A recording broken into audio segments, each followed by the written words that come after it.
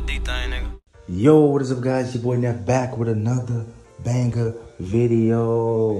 And man, in today's reaction, man, we got a crazy, crazy topic to talk about, man. I don't know if you guys heard about the situation, what's been going on with Gunna, man. YSL, uh, I heard this dude been snitching, bro. I heard been telling.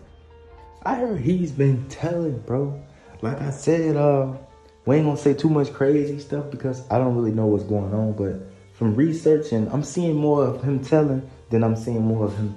It's, it's, it's been a lot, you know, from his lawyer and from inside sources. But we just gonna go with what's trending. We're gonna go with the topic on that he's selling out YSL Young Thug, man. You know what I'm saying? Uh, I don't know if you guys noticed, but uh, why uh, Young Thug had a, a, a court appearance, man, and it just seemed kind of awkward. You know the way he was moving and just the smiles, like as if he knew Gunna sold him out. You know what I'm saying? If this is true, I don't want to put this negativity out there, but it's like he knew that this whole situation was true of him putting it out there, man. He just sat back on it and was like, dang, like my dude really did this to me. You know what I'm saying? After all these years, after all this time, bro.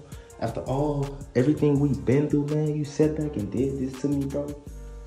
With no hesitation.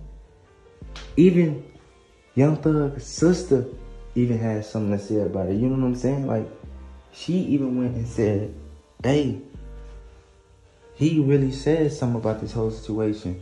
Young Thug was hurt about it, you know, as if they knew what was going on, you know, with the situation, man. Like, it's crazy, bro.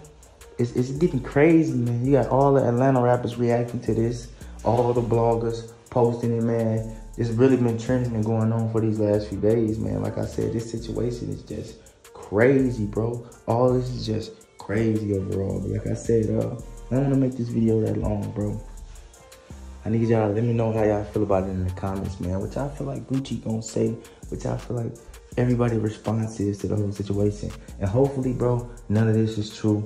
Hopefully, none of this comes out as true, bro. Because that, that'll be messed up. But like I said, I'm finna go to the interview right here, man. Make sure boys like, comment, subscribe. Hit that thumbs up, man. Your boy Neff out. Peace.